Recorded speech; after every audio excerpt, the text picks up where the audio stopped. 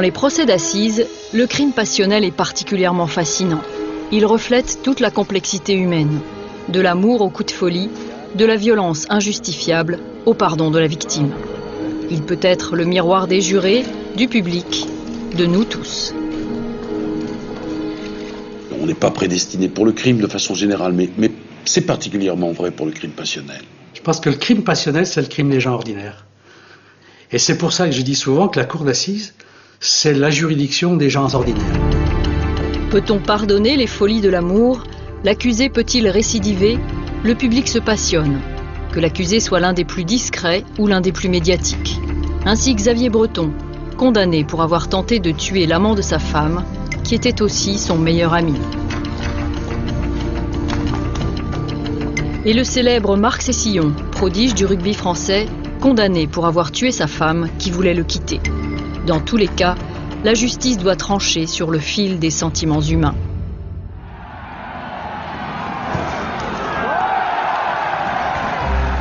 Pour Marc Cessillon, tout commence par une très belle histoire.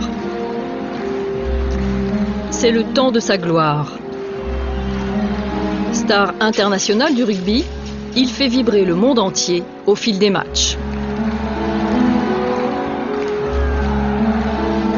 Mais en août 2004, ce géant va faire la une des journaux pour un drame terrible.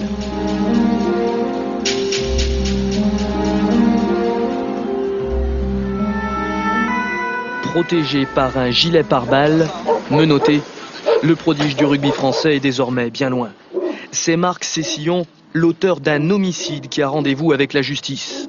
Dans le cadre de sa garde à vue, M. Marc Cessillon a reconnu l'ensemble des faits qui lui sont reprochés dans le cadre de cette affaire. Il a admis avoir tiré à cinq reprises sur son épouse à l'aide d'un 357 Magnum. Et l'enquête a permis de déterminer qu'au moment euh, des faits, l'intéressé avait un taux d'alcool dans le sang de 2,35 grammes. Je n'ai pas pensé grand-chose, je me suis senti con, abruti, enfin, de, de peine, quoi. De peine, d'autant plus que même si on savait que c'était pas folichon dans le couple, on était à milieu d'envisager euh, un truc pareil. Vraiment à milieu, ouais. La soirée fatidique d'août 2004 commence sur cette route. Marc Cessillon rejoint sa femme chez des amis. Le couple va mal, elle veut divorcer. Il est ivre et se dispute violemment avec la maîtresse de maison qui le met à la porte. Il rentre chez lui, prend une arme et retourne à la soirée. Il ordonne à sa femme de le suivre. Face à son refus, il sort son 357 Magnum devant tous les invités et tire cinq fois sur elle. Dans son fief de Bourgoin-Jallieu, c'est le choc, en particulier pour Louis Marchand, père spirituel de Marc Cessillon. Confident du champion, il connaissait tout autant son épouse Chantal depuis l'enfance. Chantal a tout fait pour lui faciliter son devenir sportif et son état de sportif. Quoi. Elle, pour ça, de ce côté-là, elle a tout fait pour lui. Il s'en est pas rendu compte quand il était international, mais du moment qu'il était continuellement chez lui, il s'est rendu compte que, que sa femme menait tout, qu'il avait plus, plus droit à la parole. Bon, euh, c'était un, c'était un bien, ça a été un mal, mais c'est, c'est ce qui, c'est ce qui lui l'a déséquilibré.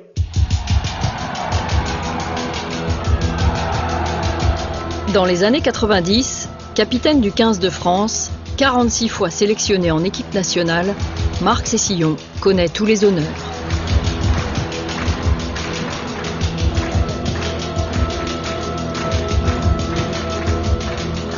Pour lui, la retraite sportive à 40 ans sera terrible. Il se retrouve entraîneur d'un petit club de deuxième division. Désormais, ses coéquipiers s'entraînent sans lui. Pour Marc Cessillon, c'est une tragédie. C'est l'effondrement chez Marc Cessillon. Il perd tout. Il perd ses repères, il, perd le statut qu'il avait. Il s'alcoolise, il euh, trouve un petit travail, il vend des pelouses synthétiques. Et sa femme menace de le quitter euh, en regard de ses, de ses alcoolisations, de son humeur un petit peu difficile. Et tout ça, ça participe de la construction d'une de, de, de, scénario autour du, départ de son, épouse. Là, c'est plus possible. Et se met en place un, effondrement, la crainte de, de, ce vide, la crainte de cet état dépressif qui va, qui va envahir la vie psychique du sujet, qui va en quelque sorte mettre en route cette machine euh, infernale qui va présider à la mise en œuvre du crime, du crime passionnel. L'ancien capitaine de l'équipe de France de rugby, Marc Cessillon, a été mis en examen et écroué ce soir pour assassinat. L'ex-international, âgé de 45 ans, a reconnu avoir tiré à cinq reprises sur son épouse lors d'une soirée entre amis. Quand ils ont fait la constitution, il me dit j'ai refusé de faire le geste que j'avais fait pour tuer Chantal, mais il me dit je l'ai refusé pour une simple raison, c'est que je me rappelle pas du tout. Je sais pas du tout ce que j'ai fait, je me rappelle plus. Et je, savais, connaissant Marc comme je le connais, je peux vous dire qu'il était sincère. Hein. S'il c'était pas du cinéma ou quoi que ce soit, il a refusé la Constitution parce qu'il se rappelait pas. Il se rappelait de rien. Que s'est-il passé dans la tête de Marc Cessillon Pourquoi et comment l'ancien capitaine de l'équipe de France de rugby en est-il venu à tuer sa femme qui demandait le divorce? C'est la question à laquelle devra répondre la cour d'assises de Grenoble. Au cœur de ce procès qui s'est ouvert aujourd'hui, il y a la dépression et l'alcool. Sur place, Virginie Fichet, Philippe Fivet. À la barre, c'est la famille du rugby qui se reforme. Les instances fédérales, les anciens coéquipiers sont venus apporter leur touche au portrait de Marc Cessillon. Au cours du premier procès, en 2006, c'est un défilé de stars du rugby. Il témoigne pour Marc Cessillon, qui lui reste muet. À Grenoble, on a jugé que la vedette, on a jugé que le, sport, la vedette. On n'a pas, on a, j'ai même pas si on a jugé l'homme. On a jugé le geste d'un international déchu, d'un international alcoolique, d'un inter, voyez le mot international? On n'a pas jugé l'homme alcoolique, on n'a pas jugé l'homme déchu. On n'est pas allé rechercher l'homme. C'est ça, moi, que j'ai pas compris dans ce procès. Les jurés sont-ils irrités par ce cortège de vedettes? En tout cas, le verdict est très sévère. 20 ans, c'est 5 de plus que ce qu'a demandé l'avocat général. Marc Cessillon fait appel car il nie la préméditation.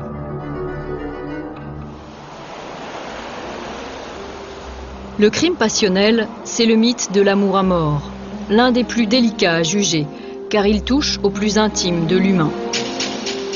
Et si chaque affaire est unique, les histoires se ressemblent. Par chagrin amoureux, Xavier Breton lui aussi a tiré sur son ami d'enfance qui était l'amant de sa femme. Il a passé plusieurs années en prison. Aujourd'hui, il reste un dossier m'a classé criminel. Je pense pas être un criminel. Je, pense que je serai jamais un criminel. Je me considère comme un criminel. La société m'a classé comme ça. Je sais pas. On doit tous avoir un criminel quelque part en nous. Parce qu'une affaire comme ça, et eh ben, c'est l'affaire de monsieur tout le monde. Je pense que n'importe qui peut être concerné dans une histoire euh, d'amour, d'amour, d'amitié. Et du jour au lendemain, se retrouver derrière les barreaux et montrer les doigts. Vous êtes un criminel, monsieur. Voilà. Pour Xavier Breton aussi, tout commence lors d'une soirée où se trouvent sa femme et sa fille. Il cherche à reconquérir son épouse qu'il a quittée. Elle refuse.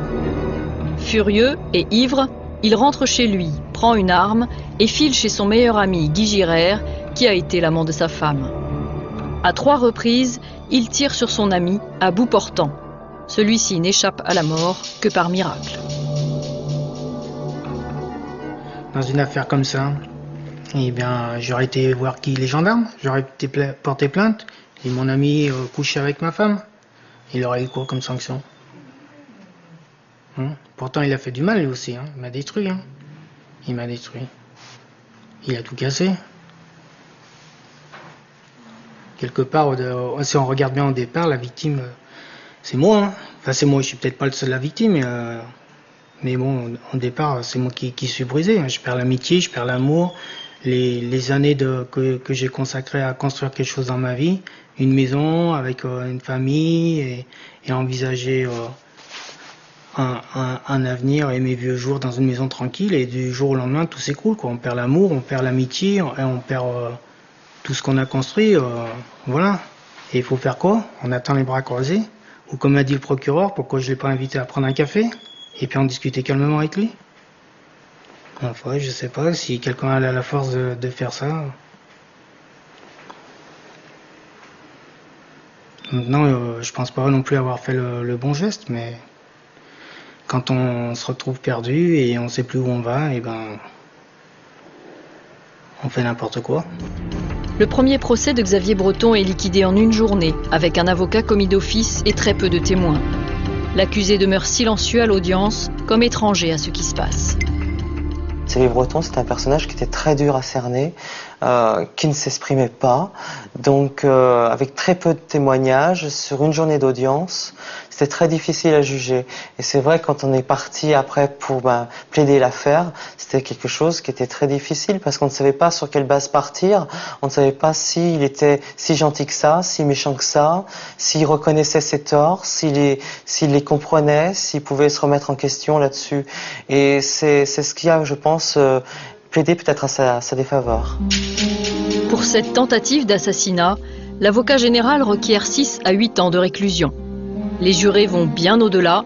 Ils condamnent Xavier Breton à 10 ans de prison. Il fait appel.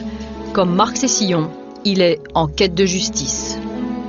On voit des gens que rien ne prédestine à ce genre d'infraction. On n'est pas prédestiné pour le crime de façon générale, mais, mais c'est particulièrement vrai pour le crime passionnel. On a des gens qui, ressemblent à des gens, entre guillemets, normaux, qui pourraient être jurés de cour d'assises parfaitement inséré. Et puis d'un coup, ça bascule. Moi, je crois que le crime passionnel est indissociable de la relation amoureuse, oui. Je ne crois pas qu'on puisse parler de crime passionnel quand on n'est plus dans cette dimension amoureuse. C'est mon avis à moi. Hein. Euh, sinon, on est dans un, dans un autre registre. Hein. Je crois que euh, c'est un amour fou. Hein. C'est un amour qui devient fou, en tout cas, et qui va entraîner euh, le couple dans, un chaos total. La famille est un lieu très dangereux. Contrairement à ce qu'on prétend ou à ce qu'on voudrait bien croire, que la famille c'est le refuge, c'est pas du tout. La famille c'est un lieu très dangereux, euh, notamment pour les femmes et pour les enfants.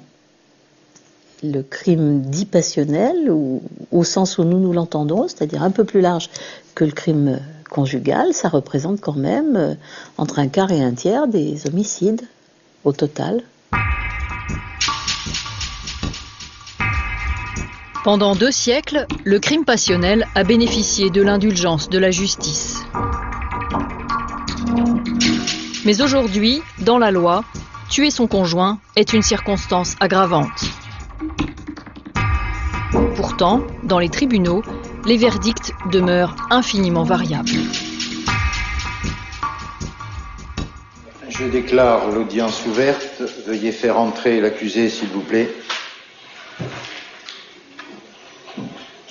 Bonjour monsieur, vous mettez donc au deuxième micro. Si vous voudrez regarder la cour, c'est ici que nous allons vous juger. Tous les regards sont fixés sur, sur nous, qu'il y a des, des années de, de vie qui sont en jeu et mon ex-ami qui est en face aussi, qui est, qui, est là, quoi, et, voilà. Et puis euh, s'exprimer euh, dans le bon sens, quoi, savoir euh, expliquer ce qui s'est passé et le faire comprendre aux gens. Une affaire, qu'elle soit de première sort ou d'assises, ou l'affaire Breton, il y a toujours les inconnus de l'audience. On sait d'où on part, on ne sait jamais où on va arriver. Juré numéro 32, Monsieur Jean-Luc Vallier. Première chose, quand, quand, on est juré, on regarde déjà, c'est l'accusé. Dès la première apparition, on peut commencer à se forger quelque chose dans le sens que l'apparence, le, la façon de se tenir, la façon de se comporter, la façon de, de regarder le, la salle, de regarder les jurés, de, de regarder même la victime qui est quand même sa victime. Et franchement, c'est, on peut déjà on peut déjà commencer à penser à, quelque chose. Voilà. Alors, la, la, première impression est, est, très importante. Je disais toujours aux jurés que le délit de sale gueule, ça existait. Ça les surprenait beaucoup. Et je prenais comme exemple, je leur disais, moi je vous vois en face de moi, c'est quand je rencontrais les jurés avant la, session d'assises, un temps d'information, je leur disais, il y en a parmi vous qui ont une tête qui me revient pas bien. Et puis vous, peut-être, euh, vous trouvez que vous avez un président qui a une tête qui vous va pas du tout. Eh ben, on va, devoir travailler trois semaines ensemble. Mais ce que je voulais leur montrer là, c'est qu'effectivement, la, première impression, il faut souvent s'en défendre. Qu'est-ce que vous nous dire de, l'évolution de, ce couple? Ben, L'évolution de ce couple, c'est euh, du départ, je suis tombé amoureux de, cette femme et, j'en suis resté complètement amoureux jusqu'à la fin. quoi. Ça commence comme une histoire très simple. Xavier vivait heureux, et il est sans histoire parce que les gens heureux n'ont pas d'histoire. Et puis ensuite, on a cet ami qui est omniprésent, qui est là, qui va aider à faire la maison, qui va être très proche de Xavier, très proche du père de Xavier, et très proche de la femme.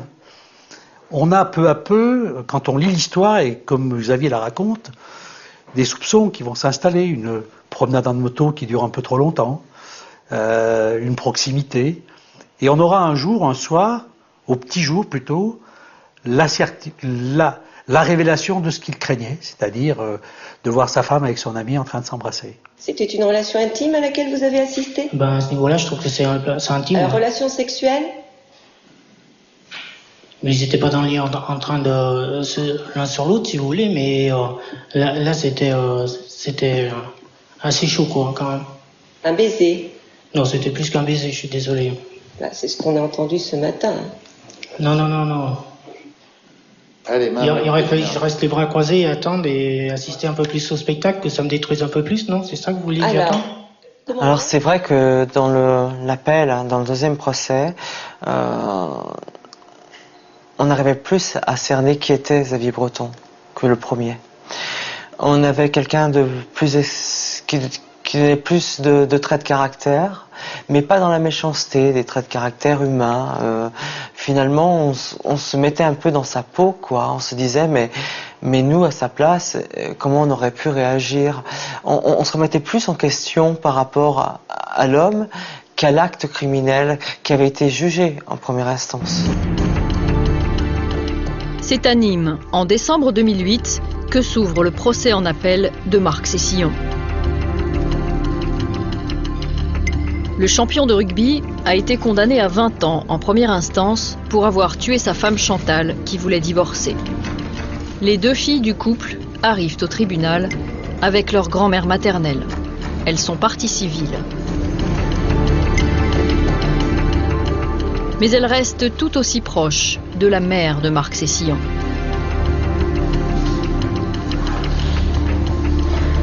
L'émotion est palpable.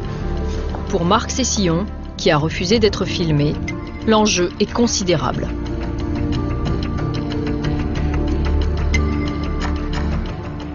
En étudiant le dossier, en étudiant les réactions de Marc Cessillon, moi je pense qu'on est plus dans le cadre d'un crime d'orgueil, parce qu'il euh, n'était pas admissible pour lui qui était tout puissant jusqu'alors de perdre à la fois le rugby et d'autre part de perdre son épouse.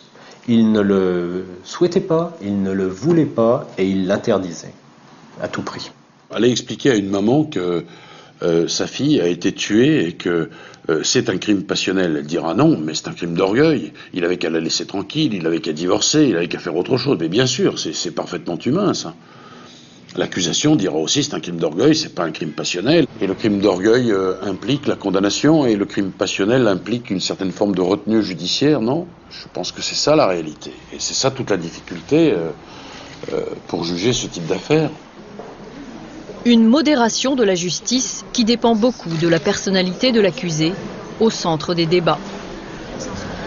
Dans les affaires de crimes passionnels, tout semble subjectif, car étonnamment, dans le code pénal, rien. Si je vous réponds comme juriste, je vais vous dire que le crime passionnel, ça n'existe pas. C'est pas un crime qui est défini par le code. Et peut-être que nous, magistrats professionnels, nous sommes justement là pour souvent dire à mesdames et messieurs les jurés, attention, on vous parle de crime passionnel, mais c'est pas une notion juridique. Le crime passionnel en tant que tel n'existe pas dans le code pénal, mais aux assises, dans le public, dans les journaux, on ne parle que de ça. Fini le mutisme de plomb du procès de Grenoble. Fini le défilé des célébrités. Le débat se resserre. Cécillon s'exprime. C'est lui qui va donner le, ton, c'est-à-dire on va discuter de la préméditation, et derrière la préméditation, c'est effectivement euh, est-ce qu'on peut parler d'une thèse de, la thèse d'un crime passionnel c'est-à-dire que s'il n'y a pas préméditation, on peut rentrer éventuellement dans la thèse du crime passionnel, c'est-à-dire d'un homme qui a été aveuglé par sa passion, euh, par l'amour qu'il éprouvait pour sa femme, l'amour qu'il était en train de perdre, et c'est ça qui a pu l'aveugler et guider son geste. Voilà. Pour ce deuxième procès, Marc Cessillon a changé d'avocat. Il a choisi un ténor du barreau, maître Dupont-Moretti. Mais cette fois, aucune star du rugby comme témoin. Il faut mettre en avant l'homme, pris dans un engrenage. La clé, c'est la préméditation de Marc Cécile. Ça fait partie des choses qui sont discutées parce qu'en droit, pour qu'il y ait préméditation, il faut qu'il y ait du sang-froid. Et on a, euh, là je ne dévoile strictement aucun secret, une responsabilité pénale dont on sait qu'elle a été atténuée par les experts. Ce dont, à l'évidence, la première cour d'assises n'a pas tenu compte. Pour moi, la préméditation existe. Et elle doit euh, exister parce que s'il n'y a pas préméditation dans ce genre de dossier, réellement, on se demande dans quel dossier il y aura préméditation. La question de la préméditation, c'est effectivement un petit peu compliqué. Je ne pense pas que l'état psychique dans lequel était Marc Cécillon puisse permettre de penser qu'il avait organisé ce qu'il allait faire euh, quelques instants après. Euh, comme souvent dans les, dans les drames passionnels, on, a on retrouve un scénario, une construction qui amène euh, euh, la personne à se débarrasser en quelque sorte, à tuer quelqu'un qu'il aime et qui lui est, cher. Mais ce scénario, il peut pas être, on ne doit pas le confondre avec une, préméditation, une organisation. C'est comme si le sujet qui est absent à lui-même à ce moment-là euh, eh bien cette partie d'absence, organiser quelque chose euh, sans que le discernement, euh, les capacités de pensée, les capacités de conceptualisation de la personne puissent à un moment donné dire mais attends, ce que tu es en train de faire là, ou ce que tu vas faire là, ou ce que tu penses là, c'est pas possible. T'as pas le droit de le faire, tu peux pas le penser, ça n'est pas possible. Eh bien non, il y a, le sujet n'a plus accès à cette part de lui-même qui va l'aider à, à, réguler, à moduler et, et à penser et à synthétiser ses actes et ses pensées. Cette arme que Marc Cessillon est allé chercher concentre donc tous les débats. Techniquement, c'est une préméditation. Sauf que, euh, juridiquement, il y a toute une discussion conduite euh, par les auteurs, euh, par la jurisprudence, euh, nous permettant de dire que quand un homme est dans l'état passionnel, c'est incompatible avec la préméditation. La préméditation, elle implique une véritable réflexion. Une réflexion froide, déterminée. préméditation, c'est la détermination. Au procès en appel de Xavier Breton, cette question de la préméditation est tout aussi essentielle. L'accusé a tenté de tuer son ami Guy Girard qui fut l'amant de sa femme. Je vous pose la question, puisque c'est l'accusation qui est portée contre vous.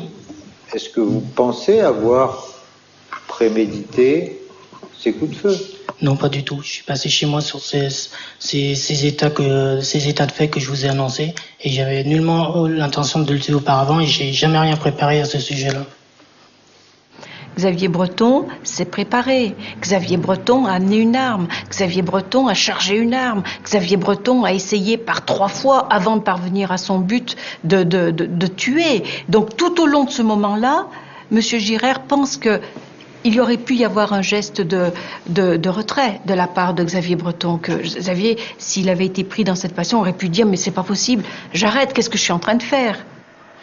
Quand euh, je suis passé à l'acte, il était j'ai pas pensé à l'éviter puisque j'étais déjà dans le truc et plus rien pouvait m'arrêter. J'étais déjà parti quoi. Donc euh, l'acte était irréversible on va dire. Il n'y avait pas de retour. Il n'y avait plus de retour.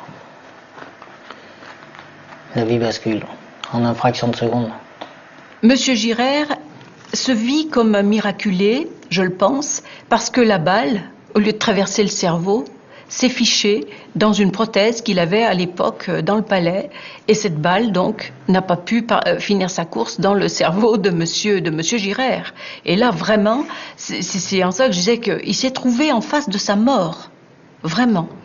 Et euh, heureusement, heureusement, par miracle, eh bien, la balle n'a pas atteint son, n'a pas atteint son but. En tout cas, le but poursuivi par Xavier Breton. Lorsqu'il tire sur son ami, Xavier Breton est ivre. Mais les experts ne sont pas d'accord sur son état psychologique. Les uns le considèrent comme lucide, sans trouble pouvant abolir son discernement. Les autres soulignent son trop-plein émotionnel, la force à laquelle il n'a pas pu résister. Pour faire reconnaître la dimension passionnelle de son acte, Xavier Breton aussi a changé d'avocat. Il a choisi Maître Sauvert, un grand pénaliste du barreau de Lyon c'est vrai que sur la qualification, si je m'attache à des qualifications, c'est un cauchemar. Je veux dire, je suis poursuivi pour tentative d'assassinat sur un homme bon qui avait commis euh, l'adultère, enfin oui, enfin qui méritait pas d'être euh, assassiné, et euh, un type qui certes n'avait pas de casier judiciaire, mais qui à un moment donné avait voulu la mort de la personne. Bon, moi j'ai intérêt à ce que ça, ça soit passé au second plan, pas parce pas seulement par stratégie de défense, mais parce que profondément, je pense que peut-être un peu choqué, mais c'est secondaire par rapport au dossier. À un moment donné, ça devient secondaire. Ça doit être secondaire si je veux que les jurés comprennent. On leur fait oublier l'acte. Et ce qu'on disait tout à l'heure, c'est l'homme qui vient vers eux. Dans les audiences de crimes passionnels, le plus souvent, accusés et victimes se connaissent très bien. Les rebondissements au tribunal viennent donc de ce cocktail d'émotions, de souvenirs communs et d'histoires mêlées. L'audience va se terminer, je crois que c'est le deuxième, deuxième jour, et le fils de, la victime se lève et dit Monsieur le Président, je veux dire quelque chose. Et là, moi, je dis Ça y est, ça va être terrible, parce que ce gamin, qui est un gamin euh, un peu emprunté, mais qui, est, qui va être, on va le voir dans un moment émouvant, euh, il va me casser l'ambiance, quoi. Et à dire, euh, mon père a été blessé, il a failli mourir, je voudrais que les jurés... Bon, moi je pense qu'il veut dire ça. Vous avez indiqué, vous souhaitiez dire quelque chose, je vous en prie. Ben, juste un message euh, à l'attention du jury. Quand vous délibérez euh, demain, quand vous délibérez demain, monsieur le juré, pensez aux enfants de Xavier.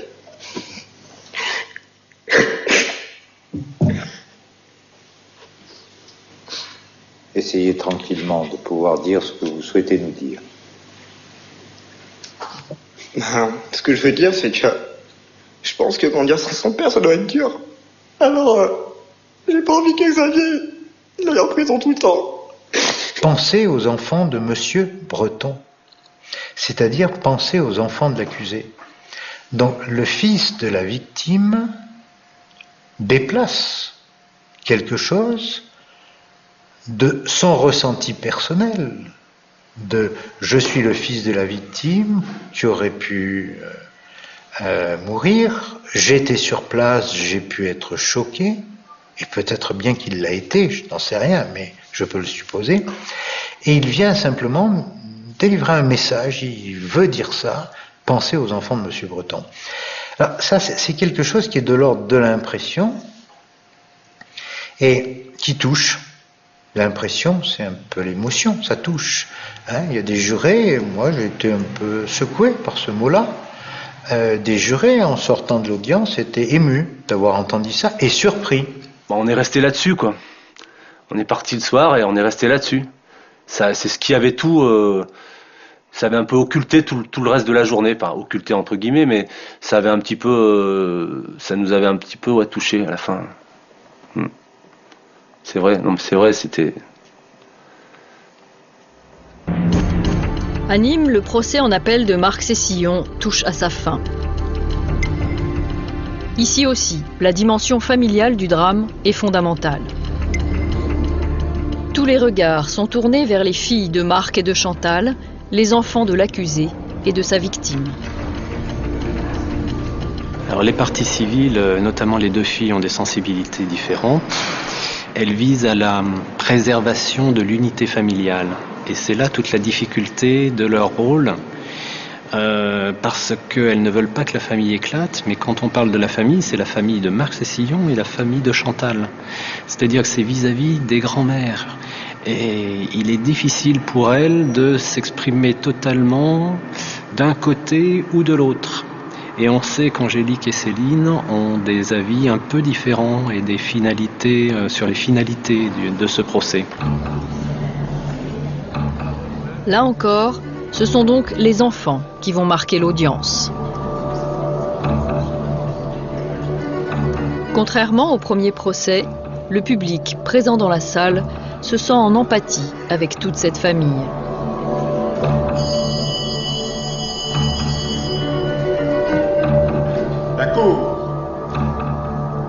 Les deux filles de Marc Cessillon font presque tous les jours la une des journaux la première, l'aînée, va, venir à la barre en, interpellant les jurés et en leur, disant on n'a déjà plus de mère, ne nous enlevez pas notre père pendant, euh, euh, plus de 15 ans. 15 ans, c'est déjà très très long, on a besoin de notre père. C'est pas le cas de la deuxième.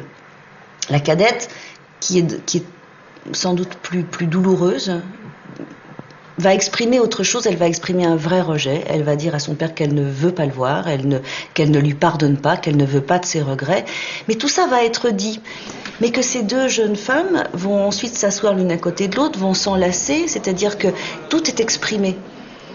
Ça n'a pas séparé la famille. C'est-à-dire qu'on comprend qu'on est là dans, tout un monde, à la fois parents et amis, que ce drame a totalement déchiré, mais qui jusqu'au bout ne sont pas dans la haine. On est dans une société où les victimes ont un statut euh, qui est devenu très important. On a mis les victimes au centre du débat judiciaire. Et du coup, le discours de la victime est souvent, euh, sinon surdimensionné, mais des fois avec un flot de haine, un flot de, vengeance, etc. Et voilà, ça déclenche un petit peu tout ça. Et là, dans le procès, mais pas du tout, pas du tout. On avait de l'amour, quoi. On avait de l'amour partout. Et ça, ça a vraiment donné une tonalité. Les parties civiles ont donné cette tonalité au procès et, une forme de respect qui est, là, c'est vrai, qui est très très rare, quoi. Ce qui est sûr, c'est qu'on était dans l'émotion et dans le cadre familial. Et qu'à partir de ce moment-là, dès qu'on a euh, exclu du procès tout ce qui était euh, l'avant, euh, l'avant Cécillon, comme a souhaité le faire son avocat, donc je pense que c'est une démarche de l'accusé, qui n'a plus voulu être jugé comme étant une star du rugby, on a retrouvé dans l'ambiance du procès la dimension familiale, émotionnelle, de ce qu'a été réellement la vie de ce couple, la personnalité d'une femme, la personnalité d'un homme et les difficultés que leur couple a pu connaître. Les procès de crimes passionnels réservent ainsi de grandes surprises, comme au dernier jour du procès de Xavier Breton, lorsque son ex-épouse s'avance vers la cour. L'arrivée de Madame Breton, ça a été un peu un coup de théâtre, puisque euh, la veille, elle n'était pas là. Et le président a dit, il faut qu'elle soit là. Parce que c'est un. Dans le puzzle, c'est un élément fondamental. Je veux dire, on ne peut pas le reconstituer si elle n'est pas là. C'est aussi un des ressorts du, procès. Est-ce que M. Breton vous a été fidèle?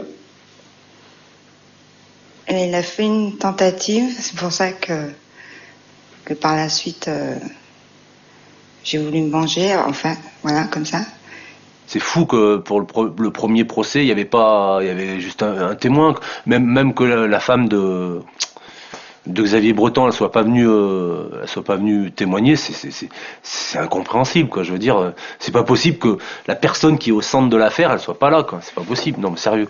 Alors, vous avez dit, il y a eu cette tentative et je me suis vengé. Vous voulez parler de quoi, là? Ben, je, je suis allé euh, avec quelqu'un d'autre.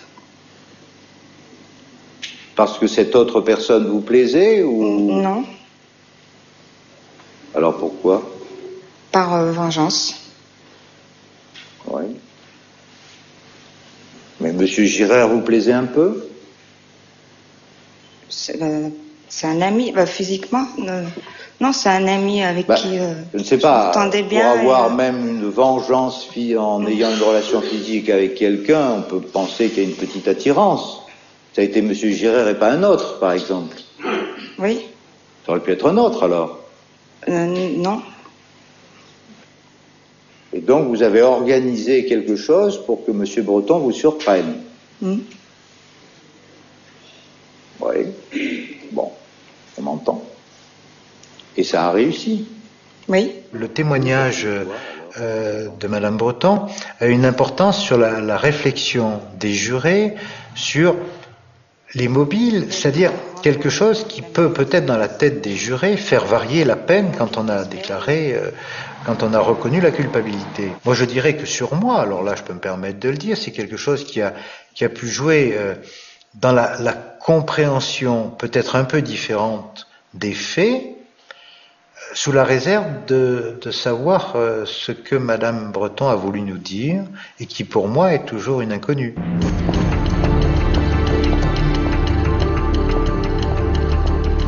Au procès en appel de Marc Cessillon, pour tous, l'attention est manifeste.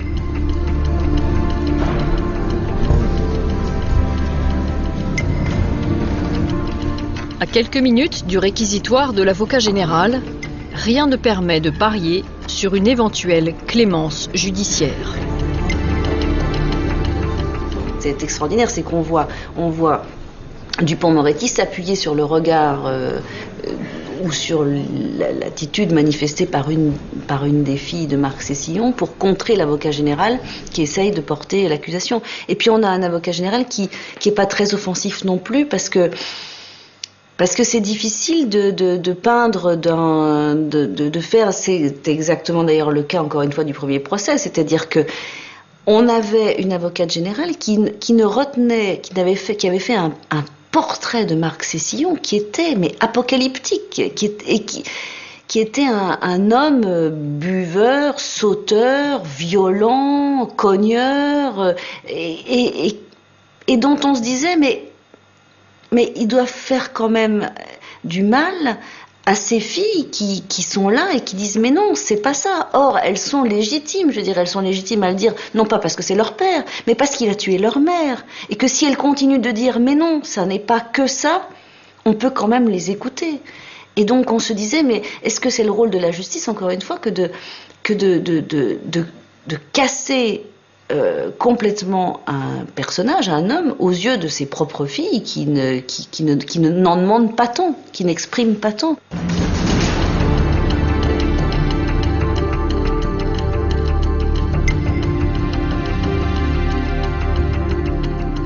20 ans requis, c'est la stupeur. Vous avez dit 20 ans, ça serait Mesrine.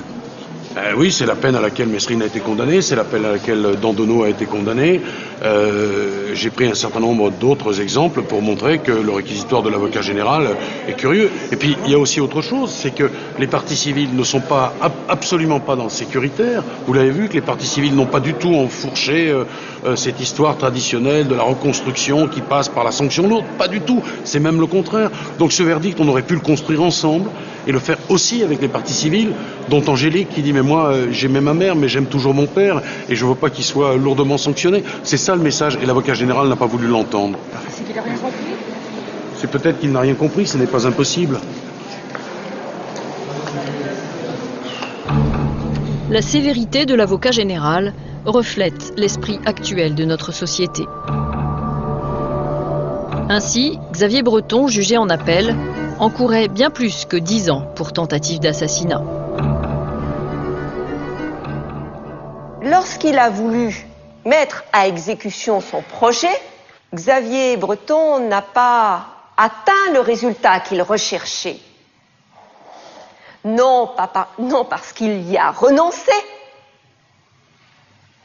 Non, il a tout fait pour y arriver. Mais tout.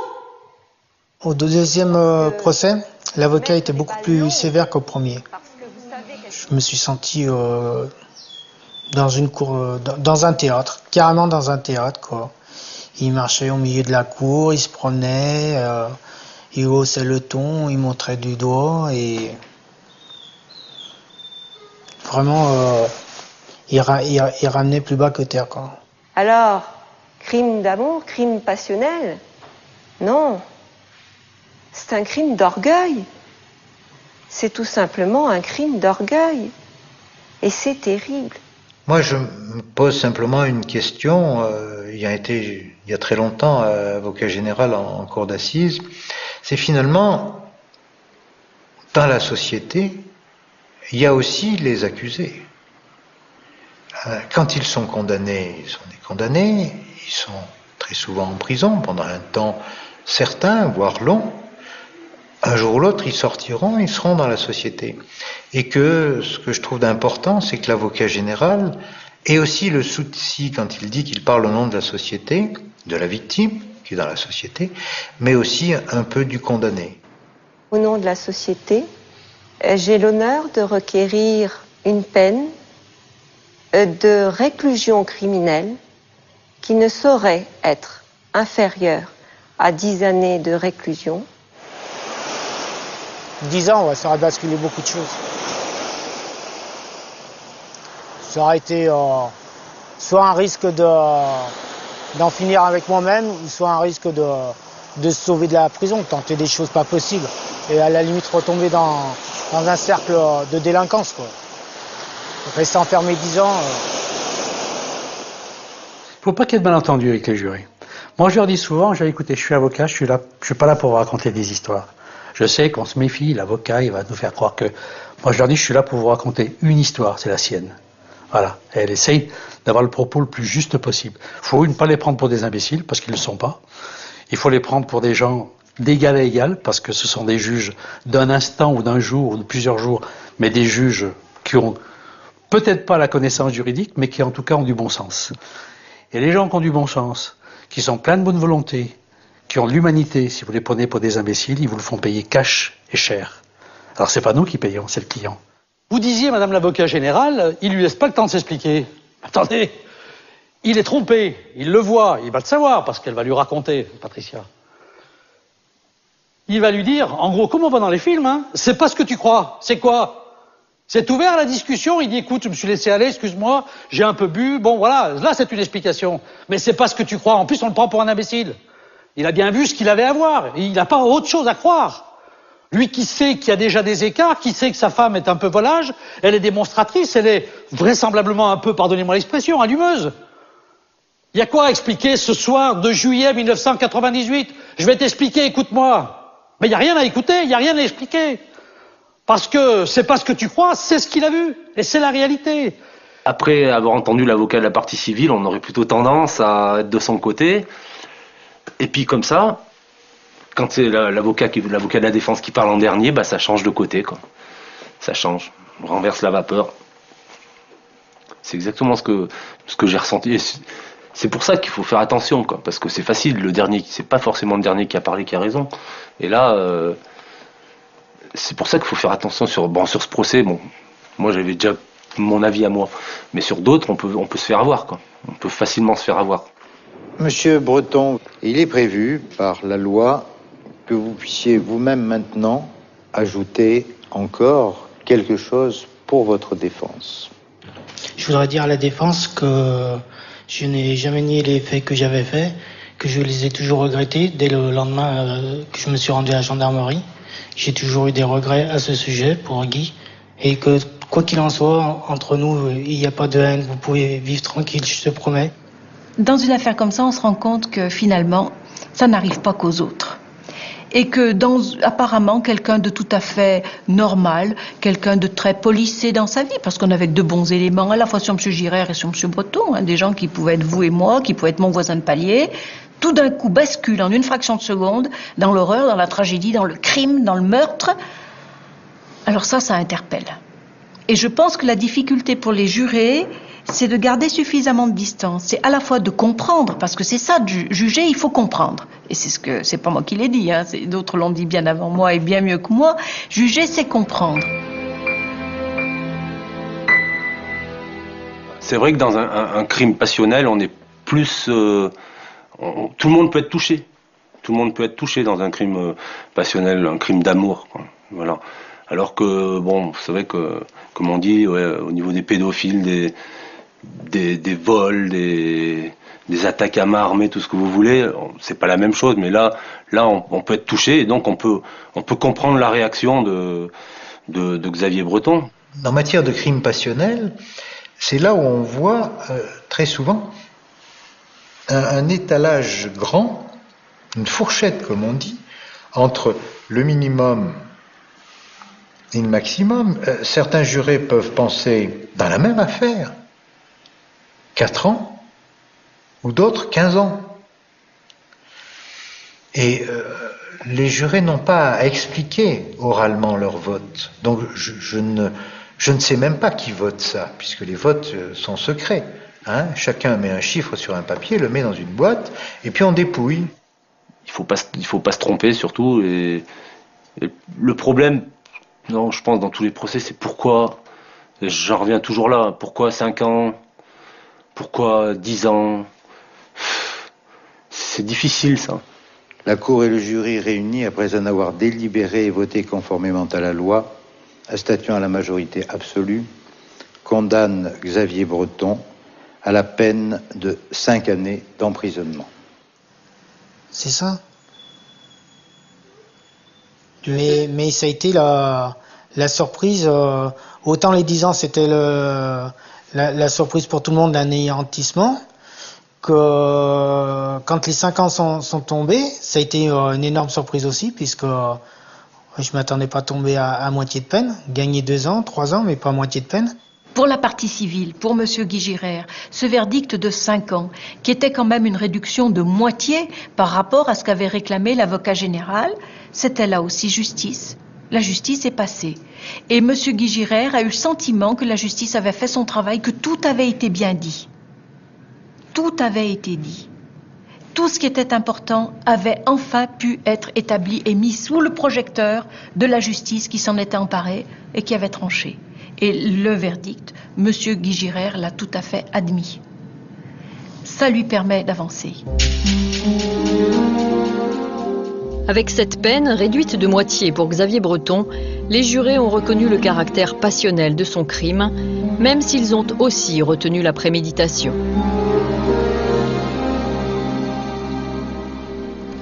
À Nîmes, c'est l'attente du verdict au procès de Marc Cessillon.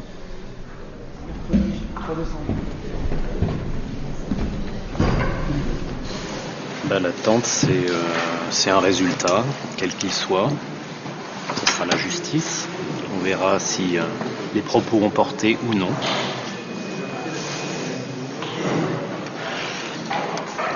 Dans le secret des délibérés, les jurés vont-ils retenir le crime passionnel?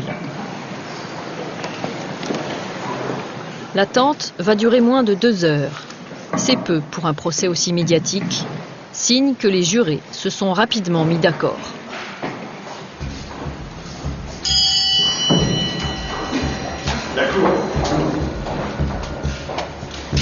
Verdict 14 ans de réclusion pour Marc Cessillon. L'homme a été moins lourdement sanctionné que la star du rugby du premier procès. Et pour lui, les jurés ne retiennent pas la préméditation. Sa mère, la première, respire de nouveau. Oui, alors là, je peux vous parler. Je suis soulagée. Je reti- le jugement est plus juste que le premier. Voilà. Plus juste pourquoi, oui. Plus, plus juste que c'est le premier qui a eu un Grenoble. hein, Parce que 20 ans, c'était inhumain. On a le sentiment que tout le monde est soulagé, sa fille Angélique pleure de Oui, joie, entre guillemets. oui, oui, c'est bien pour tout le monde. Pour les, oui, c'est bien pour les enfants, pour tout le monde. Pour les deux familles Pour les deux familles, bien sûr, bien sûr.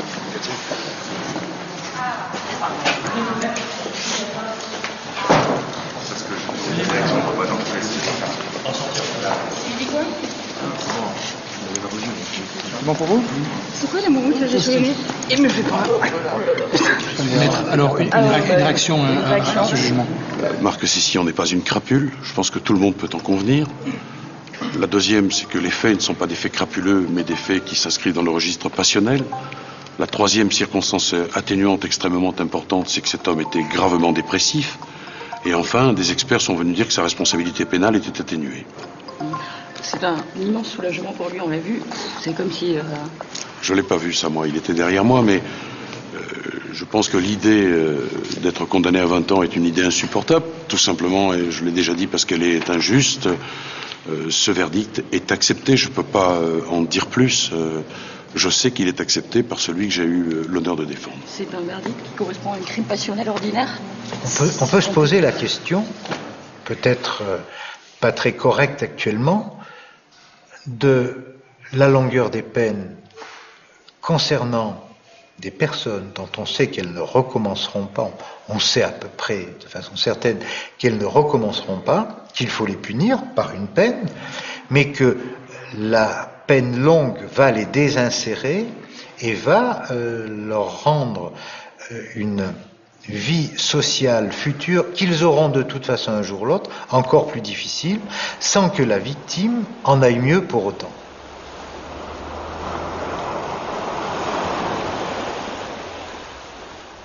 On n'a aucune notion de, ce que c'est la prison. Tant qu'on n'y a pas été, on ne sait pas ce que c'est. On ne se rend pas compte de, de l'impact que ça a sur, sur l'être humain. On vit vraiment euh, des, moments durs. Vraiment des moments durs. Et je crois que de toute façon, on n'en ressort jamais, en fait. On est toujours dedans. Xavier Breton est sorti de prison à l'automne 2004. Pour lui, comme pour Marc Cessillon, le procès en appel aura permis de mieux cerner l'homme.